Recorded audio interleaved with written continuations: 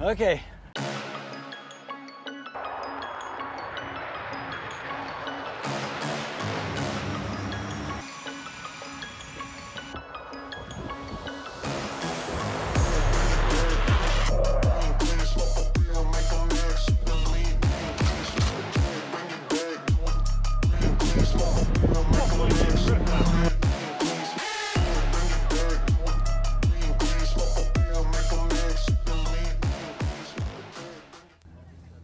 We're in, we're in Columbus, Ohio for STOL Drag.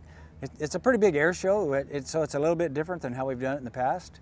And it's working out pretty good, I think. And it sounds like the air bosses and stuff are really liking us and liking how we do things, so be something that will continue.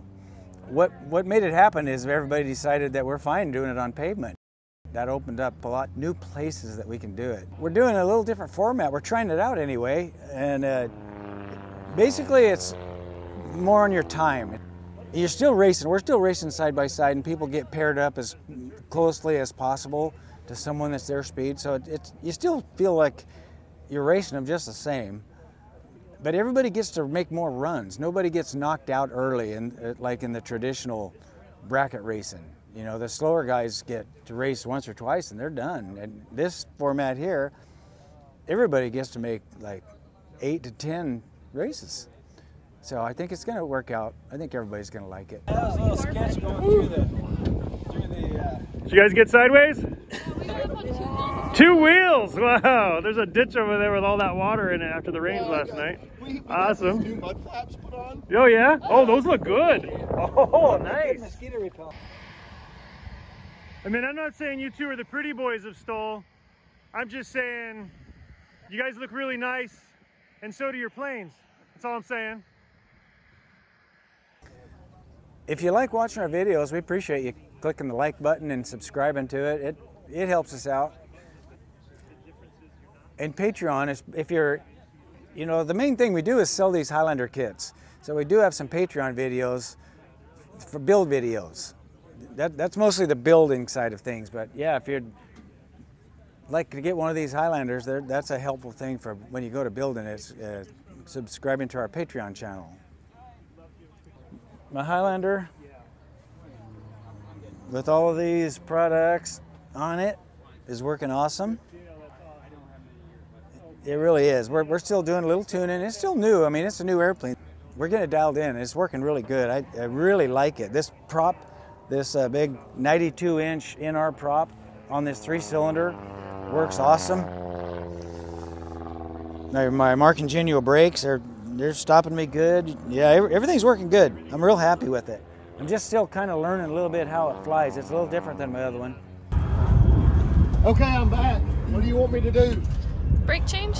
Leave me for a moment. This is a NASCAR pit stop really here. Pick up slack for you and Colin. Here, just get on my shoulders. Here, back up here a little How's bit. everybody doing? Yeah, yeah, yeah. I'm doing great now. Yeah. That's how my is.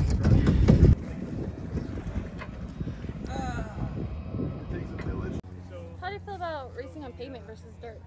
Oh, it doesn't matter to me if it's pavement or dirt. I'm actually kind of enjoying not having all the dirt blowing around. It's, Me too. yeah, that part's nice. I really don't care. If I do it on pavement or dirt, it doesn't matter to me. I don't think at all. Of course, I've been wearing my flying eyes out here. Got my sunglasses on them and everything. They're, I really do like them. They just, they're so comfortable under my helmet. They're light. I've never liked glasses. I don't, I mean, who likes glasses? But if you got to wear glasses, you might as well have some really comfy ones that work really well. So, and these do.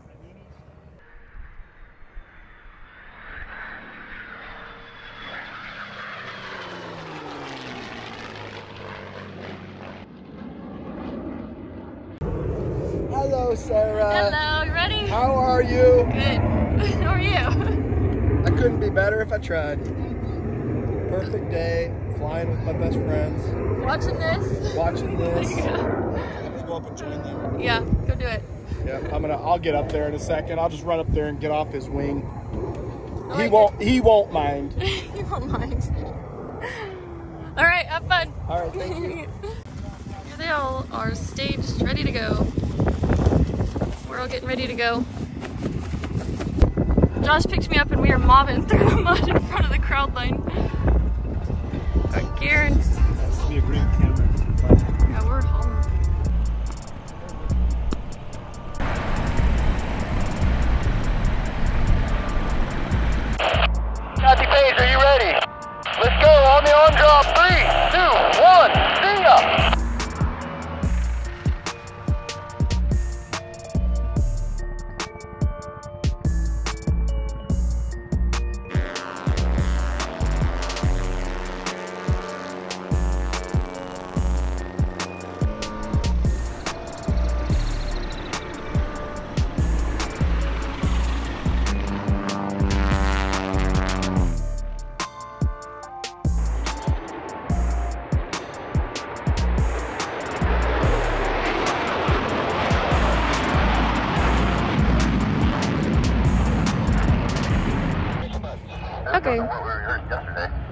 Is a little different than a lot of our shows because we're dealing with.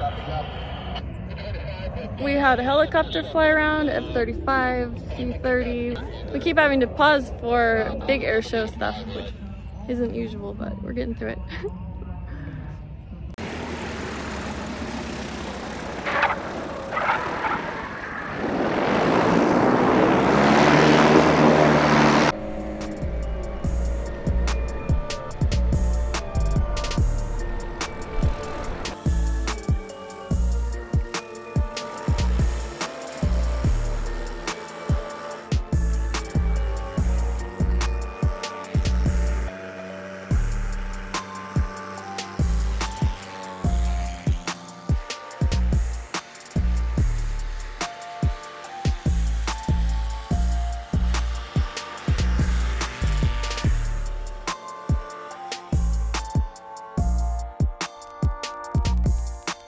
Michael's got this one.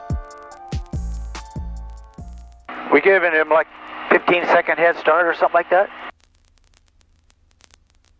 All right, so we're gonna do a chase down on this one if you guys are okay with that. You okay with that? It's gonna seem like that jet truck coming to get you. I know. All right, so I'm gonna launch you. You're gonna go 15 seconds, seconds later. I'll, I'll start you on the five. Timers, are you ready? Michael, go in. Are you ready? On the arm drop. Three, two, one. See ya.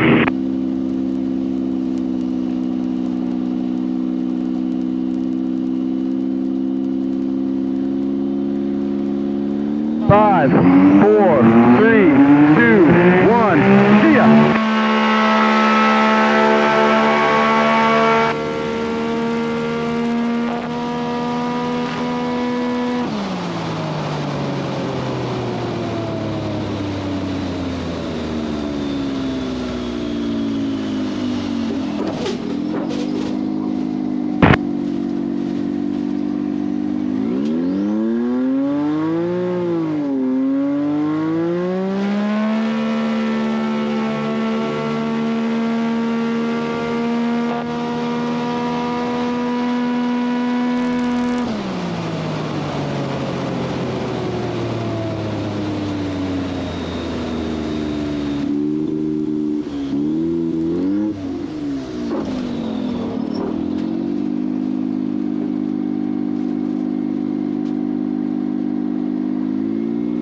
that was Clear to taxi. Steve got him by about a second and a half. That was all kinds of fun. Give Michael a 15 second head start, and we wound up really close. I just didn't by much. I was just kind of guessing at 15 seconds, but got to be a pretty good, pretty good amount of a head start. Man, it's like almost down clear to the other end by that time. That was fun. So now we're holding for a KC-135 doing a low pass. This is a very unusual situation. Let me, I'll film it. There it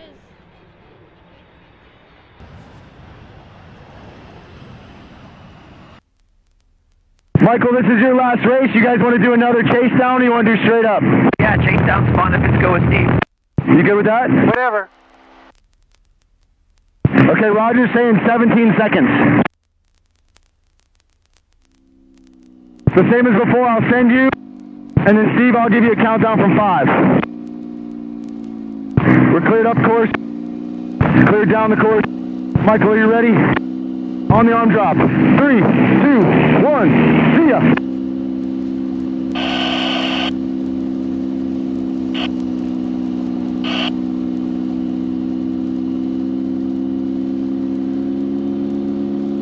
Five, four, three, two, one.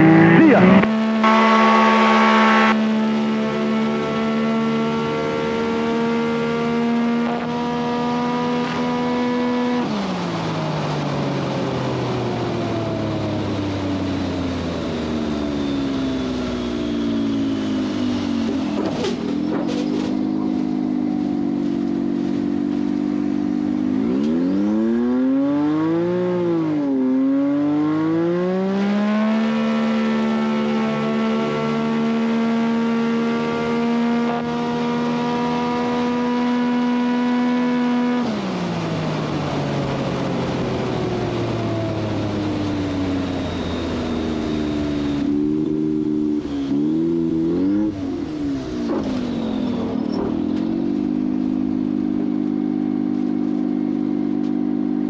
Steve by a half a second. That was beautiful, fellas.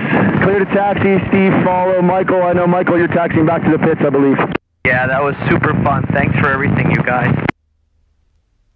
Nice race with Michael. Definitely most improved. Appreciate it, boys and girls. Have fun in your Go Fast plane this afternoon. You got it. Loop-de-loop.